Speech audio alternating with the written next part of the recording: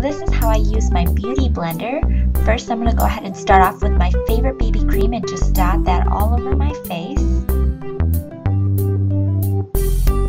And then I like to take my beauty blender which I wet under the sink and just start dotting and lightly dabbing it all over my face.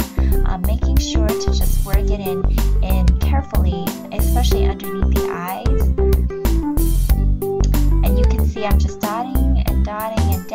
And lightly dabbing away.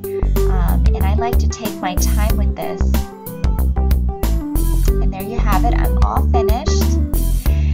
And then to clean the sponge, I like to go ahead and wet it under the sink and then using my favorite soap from Lush to get off all of that extra product, I just squeeze it out and rinse it under the sink. And I like to do this a couple times just to make sure that I have a clean sponge that I can use for next time I apply my makeup.